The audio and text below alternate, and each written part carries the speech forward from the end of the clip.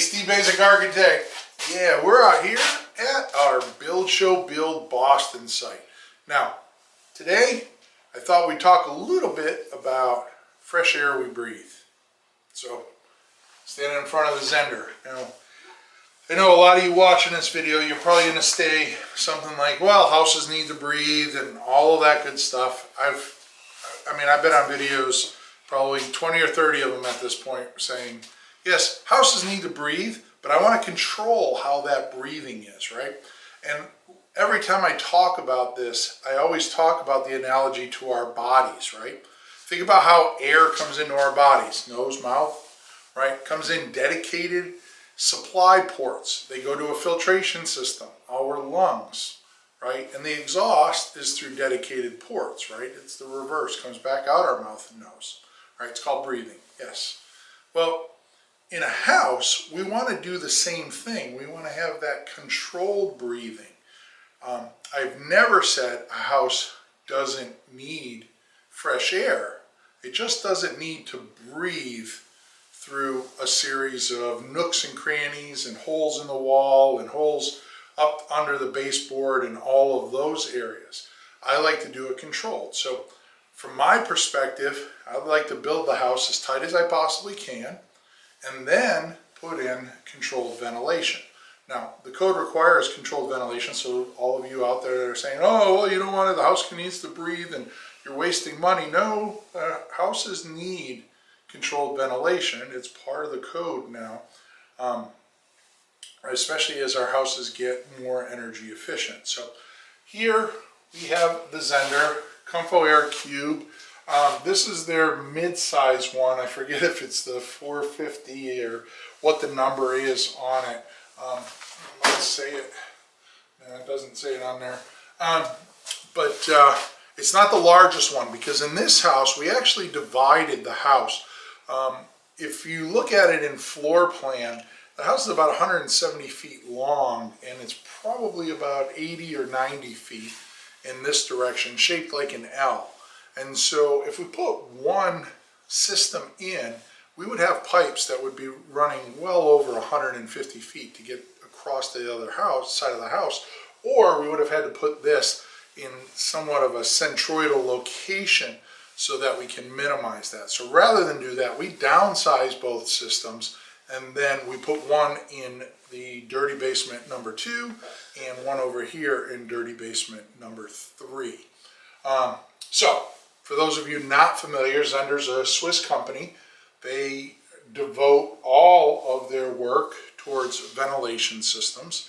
This is an ERV, Energy Recovery Ventilation System, and what that means is that we have four pipes on this um, system. You can see there's two black pipes here, and then we have two metal pipes there. The difference is these are actually hard insulation. They're called Comfo pipe.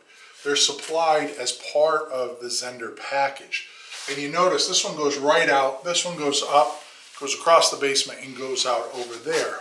What these are, one of these is the supply, one of these is the exhaust. So we're bringing air from the outside in. It goes into the system, it gets filtered. We'll pull out one of the filters and I'll show you that in a second. And as that airstream comes in, it gets exchanged with the airstream coming out. So the two pipes here that are not insulated are pipes that are either delivering or returning from the house. Um, so basically a four pipe system, right? So that air comes in, goes into the system here. As that air comes in from the outside, the exhausting air gets stripped of its heat energy and moisture and it's put on that interior or incoming loaded air that's coming in through the supply. So that's where the energy recovery is happening. And I'm sure there's a whole big science to the films and such that they use to get that um, uh, trade-off of the energy and moisture from the outgoing exhausting air to the incoming supply air. So that incoming supply air goes into the system, excuse me, and it strips the energy off the exhausting air system and then it gets delivered. So if we look at these two pipes, these two are the delivery systems or return. this one is the supply and this one is the return. Now you can see the supply comes up. There's actually a box up above here. We call these D boxes or distribution boxes. That goes from one eight inch pipe down to a six inch reducer, but then it comes out as eight little Comfo tubes, which is basically what we're seeing here. And that's a proprietary duct by Zehnder also. And those snake around the house, they're three inches in diameter, so we can pump them up through a two by four wall if we have to. They're not really carrying a whole lot of air. I mean, most of the registers here are probably, you know, in a 20 CFM or less range, um, somewhere 12 to 20 CFM, I believe.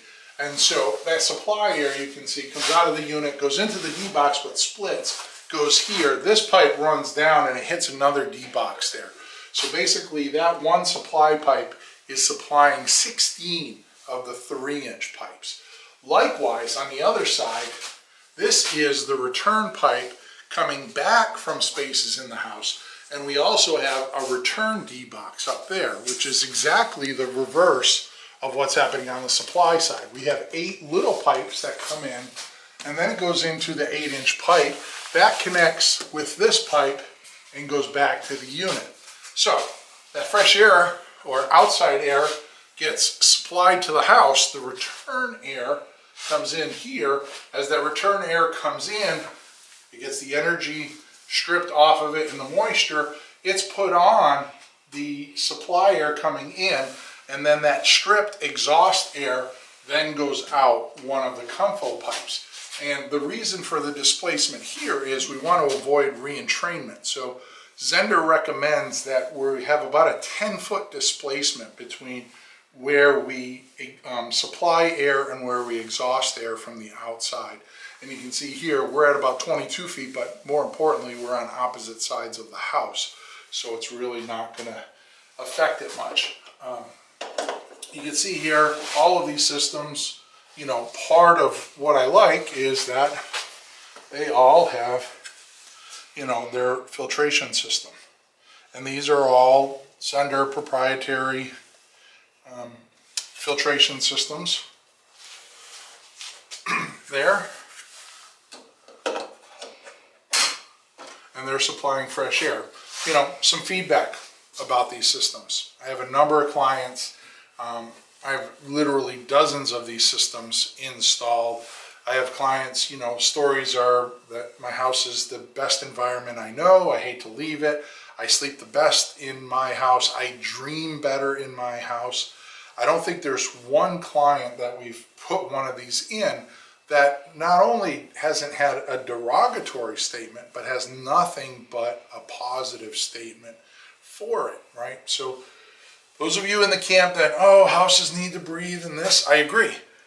But I want to control how they breathe. I want to be able to filter that air, how they breathe. I want to recover the energy from that air that I'm taking out rather than just having, you know, 30 degree air in the wintertime come through cracks in my wall and get filtered through the edge of the carpet that I'm never able to vacuum, right? Probably not the air you want to be breathing. And worse yet, probably not the air you want your child to be breathing if he or she is laying in the crib in the corner of the room, right? So we want to make sure that we're getting them that clean air. So anyways, um, the system has been commissioned um, already. Zehnder comes out and you know they, they give us a full set of plans with the layout. We check the layout. Um, we get it all installed. Our mechanical guy, Chris Johnson, did a beautiful job installing this.